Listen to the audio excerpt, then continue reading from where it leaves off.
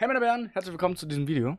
Ähm, heute geht es darum, dass man für Stream eigentlich gar nicht so viel Geld braucht. Also man braucht so ein paar Grundsachen, aber es geht mit wenig Geld, manchmal auch schon relativ gute Qualität.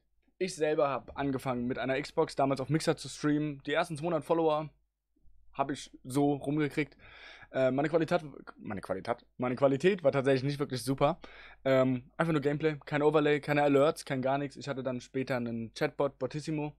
Mhm, Grüße gehen raus. Und damit habe ich dann langsam angefangen, Sachen kennenzulernen. Facecam ist erst auf Twitch dazugekommen. Meine kompletten Follower auf Mixer habe ich durch die Xbox erreicht. Und meiner Stimme, die damals nicht wirklich gut war. Meine Tonqualität war nicht die beste. Ja, was soll ich sagen? Ähm, wahrscheinlich muss ich es ein bisschen runter bearbeiten, aber so ungefähr, ja, war meine Stimme damals auf der Xbox. Äh, natürlich ist es jetzt nicht wirklich vergleichbar. Ich kann einmal einen Clip einblenden, wie es dann später aussah. Ich habe meine Gasmaske schon wieder verloren. Ich schwöre dir, die fliegt mir vom Gesicht weg. Aber so ungefähr habe ich angefangen mit meiner Tonqualität. Und das ist nicht sonderlich gut. Überhaupt nicht. Dazu kam, dass ich später dann eine Facecam hatte, die nicht wirklich super gut aussah, aber sie hat es getan. Das ist die Kamera, mit der wir damals gestreamt haben. Natürlich aus einem anderen Winkel. Jetzt ist es meine Tastaturencam, ab und zu, wenn wir Unboxings machen oder dergleichen. Aber das war die Kameraqualität. Und ja, was für eine Qualität. Ziemlich zerkrusseltes Bild. Frames sind ziemlich hoch. Ja, und diese Kamera hat 10 Euro gekostet. Es ist eine China-Cam der tatsächlich guten Art. Ähm, ja. Aber wenn wir das jetzt auch noch zu der Tonqualität dazu sehen, dann weiß ich nicht wirklich, ob die Leute damals bezahlt wurden, weil diese Tonqualität, diese Bildqualität, die wir dann vielleicht auch nochmal so auf ca. 720p skalieren dürfen, weil höher habe ich nicht gestreamt von der Xbox. Ja, dann weiß ich echt nicht, ob die Leute echt nicht bezahlt wurden, weil das. Oder warte. Es ist gar nicht so schlecht. Die Tonqualität ist natürlich ein bisschen scheiße. Wirklich nachstellen ist es nicht möglich. Vor allem die Bildqualität ist so, wie sie war. Früher war genau meine Bildqualität so, das war meine Facecam. Ein bisschen weiter unten hatte ich die Cam, aber so sah es aus. Ich finde, es war keine schlimme Qualität, es leckt nicht wirklich. Es war ein sehr Zuf ein, ein, extremer Zufall, dass ich für 10 Euro diese schöne Qualität bekommen habe. Ich zeige euch jetzt nochmal, wie das Ganze aussehen kann, wenn, die, wenn das Glück nicht ganz auf eurer Seite ist. Was ich meine mit das Glück nicht auf eurer Seite, das ist eine relativ okaye Qualität, das ist jetzt eine Logitech 10920 für circa mittlerweile 80 bis 100 Euro. Teurer sind die nicht mehr. Gebraucht gehören die auch schon für 60. Aber was ich meine, wir hatten jetzt einmal eine Cam, die ziemlich günstig war. Und jetzt kommen zwei Cams, die sowohl günstig waren als auch teurer und schlechter waren. Das ist eine Kamera, die es mal beim Rewe an der Kasse gab, hatte Schlag und 8 Euro gekostet. Qualität, schauen wir uns an. Mal ganz zu schweigen davon, wie das Bild aussieht und dass es gar nicht den Screen richtig voll ausbildet, weil es nur 640 mal 480p sind und das nicht mal ein 16 zu 9 ist, sieht die Qualität trotzdem nicht ganz so scheiße aus. Und wenn ihr euch sagt, gut, ich nehme jetzt 8 Euro und jetzt kommt es dieser Teil, den ich sage. Diese Qualität, ihr könnt euch, natürlich kann man davon die jetzt nicht vergleichen mit der in einer Logitech, denn das ist ganz einfach eine andere Preiskategorie. Aber wenn ihr zum Beispiel ein relativ gutes Mikrofon habt und habt eine schlechte Bildqualität, ist das nicht so schlimm wie andersrum. Deswegen, wenn ihr Geld investiert, immer zuerst in den Ton. Denn selbst wenn ihr wegguckt, das Bild ist euch eigentlich wirklich egal, aber der Ton muss sein. Wenn selbst der Ton sich kratzt und sich schlecht anhört, kann die beste Cam den Stream auch nicht retten. Deswegen erst Ton, dann das Bild. Und da geht so eine 8-Euro-Cam auch. Jetzt kommen wir zu einer Cam. Die gab es beim Action. Action, wer es nicht kennt, ist sowas wie Kick nur halt auch für Technik und so, die ganze 3 Euro gekostet hat. Da sind wir. Können wir noch mehr fokussieren? Glaube, wir stellen schon wieder unscharf. Ja, stellen schon wieder unscharf. Ja, der eine oder andere sagt es vielleicht, was hätte man für 3 Euro erwarten sollen. Jetzt haben wir gesehen, wie es auch sein kann. Das waren jetzt zwei Cams. Die eine Kamera war gar nicht so schlecht, da muss ich sagen, kann man tatsächlich mal drüber weggucken. Diese Kamera, Leute, dann streamt lieber ohne Kamera. Wenn ihr solche Qualität benutzt, dann lasst es lieber. Wir haben noch eine weitere, die Bildqualität von der ist aber eigentlich genauso wie von der anderen. Äh, die hatte auch um die 5 Euro gekostet. Und das Problem ist, Leute, guckt, dass ihr immer irgendwie einen Standfuß habt, weil man kann sie so auf den Tisch legen und dann könnt ihr die als am Ende des Tisches hintun. Aber ansonsten eigentlich sehr unpraktisch. Aber Action habe ich nicht nur einen Schnapper gemacht, sondern auch diese wundervolle Action Cam. Erkennt man's? Es ist eine kleine Actioncam. 10 Euro hat sie mich gekostet. Ich dachte mir, komm, äh, pack sie an ein Fahrrad hinten dran, um zu sehen, was, wenn was passiert, eigentlich, anstatt irgendwie eine Actioncam noch an der Brust oder so zu haben, eine noch hinten an den Ständer, beziehungsweise nicht an den Ständer, an den Sattel, damit man sieht, was irgendwie hinten passiert ist, wenn einer einen draufgefahren ist oder dergleichen. Ähm, Ganze hat nicht wirklich als Actioncam funktioniert, also habe ich sie mit dem mitgelieferten Kabel einfach an den PC angeschlossen und habe ein Bild bekommen. Ähm, ich werde euch ein Video einblenden, wo wir das im Stream benutzt haben, wie die Cam aussah. Wenn die Leute im Stream waren, erinnern sie sich, diese Hochkant-Cam. Wenn ihr diese Tonspur hört, dann habe ich wohl keinen Clip gefunden. Ähm, deswegen zeigen wir euch jetzt erstmal das Bild. Das ist die wundervolle Kamera für 10 Euro. Äh, man kann sagen, was man will, aber gegen die 2 Euro Kamera ist das eine wundervolle Qualität. Ich habe eine sehr zittrige Hand.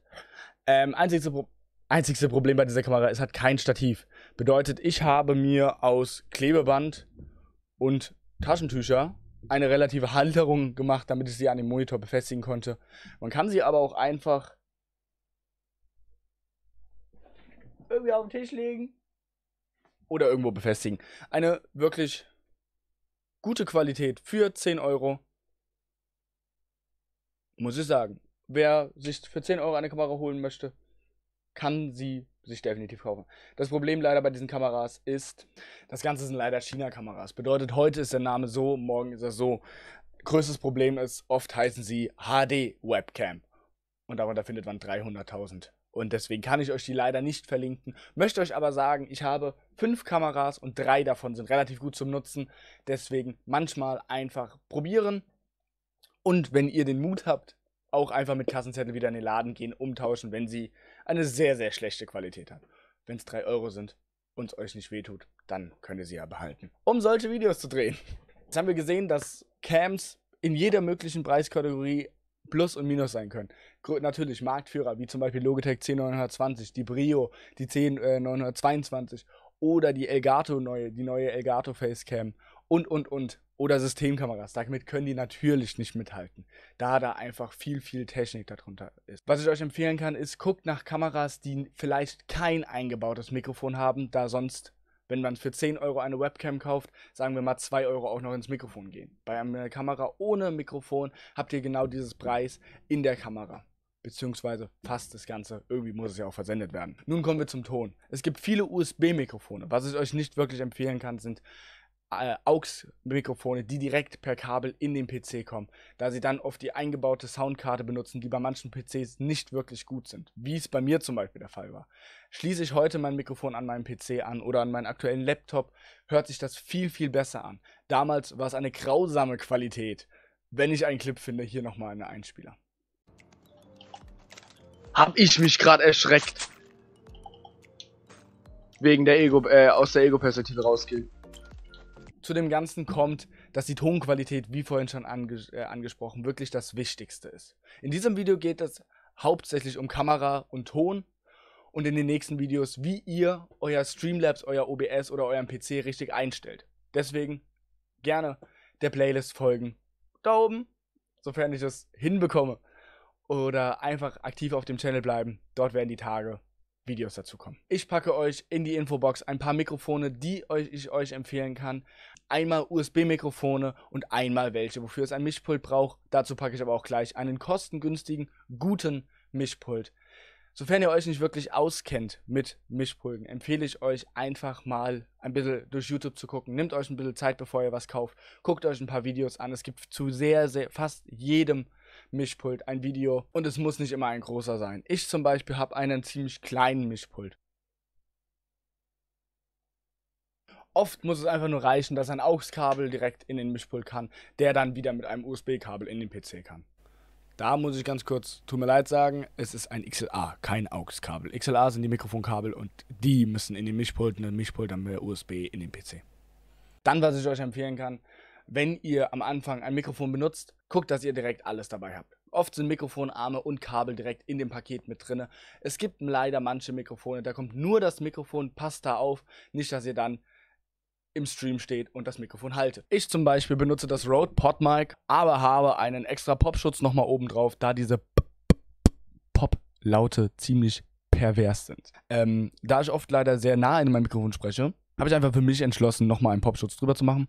Und so habe ich nochmal weniger Pop-Laute, die so pervers ins Mikrofon pusten. Das müsst ihr aber selber äh, entscheiden, wie ihr das machen wollt. Mein allererstes Mikrofon war das Neva-Mikrofon ähm, NW700 es ist ein ziemlich kostengünstiges Mikrofon. Die Soundqualität ist relativ okay. Das, was ihr jetzt gerade hört, ist aber mit dem Mischpult. Ich stelle mal das Mischpult kurz so ungefähr ein, wie es bei meiner damaligen Soundkarte war. Da ist der Bass komplett rausgenommen und so hörte sich das wirklich an. Ähm, ich gucke, ob ich noch einen Clip finde. Ansonsten habt ihr ja schon vorher ein paar Clips gesehen. Echt?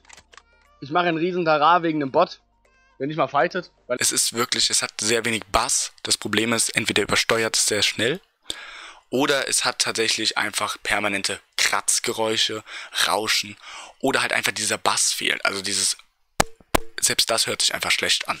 Auch zu diesem Mikrofon war ein Mikrofonarm äh, dazu geliefert und ein Popschutz. Ähm, das ist jetzt ein ziemlich dicker Popschutz. Ich weiß nicht, nein, man kann es nicht. Doch, so kann man es vielleicht erkennen. Es ist wirklich sehr dick. Nicht jeder Popschutz ist so dick, aber selbst mit Popschutz hört es sich immer noch einfach Bass. Man hört einfach es hört sich hohl an. Hohl, äh, hohl tut es sehr gut beschreiben. Den Gate ein bisschen runtergehen, das ist, oha, trotzdem immer noch sehr übersteuert. Aber das ist halt möglich mit einem Mischpult. Auch dieses Mikrofon könntet ihr ganz einfach an ein Mischpult anschließen und schon wäre die Tonqualität besser. Am Ende des Tages müsst ihr natürlich euch eure Entscheidung spielen lassen, es so einstellen, wie ihr möchtet. Ich kann euch empfehlen, für den Anfang kauft euch kauft euch ein einfaches USB-Mikrofon. Bitte, was ich euch noch empfehlen kann, informiert euch über euer Mikrofon. Denn es gibt manche Mikrofone, wie zum Beispiel das Rode PodMic. Wenn es direkt an die Soundkarte angeschlossen wird, hat es zu wenig Strom und deswegen hört man es nicht. Entweder es ist super leise oder man hört es wirklich gar nicht.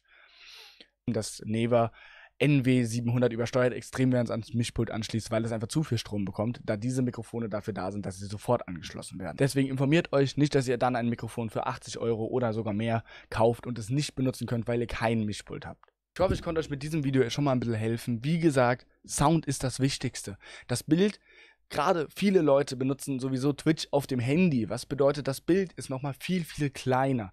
Kamera und alles muss nicht so scharf sein. Natürlich, wenn ihr wirklich eine super duper Bildqualität braucht, müsst ihr viel Geld investieren. Aber es geht auch mit wenig Geld, einen relativ okayen Stream hinzulegen. Folgt mir gerne auf Twitch. Dort bin ich immer montags bis freitags von 18 bis 22 Uhr live. Wir spielen alles mögliche Survival, Shooter, Battle Royale und vielen weiteren. Schaut gerne vorbei. Lasst gerne ein Abo auf diesem Kanal, wenn es euch gefallen hat. Haut eure Kommentare runter und lasst gerne eine Bewertung dort. Vielen, vielen Dank fürs Zuschauen und mein Name ist Floyd und ich bin raus. Ciao, ciao!